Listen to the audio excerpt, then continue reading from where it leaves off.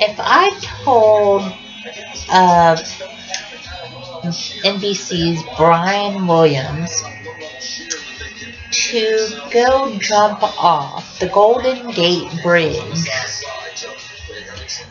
would he do it? Let me know. Please subscribe, read, and comment.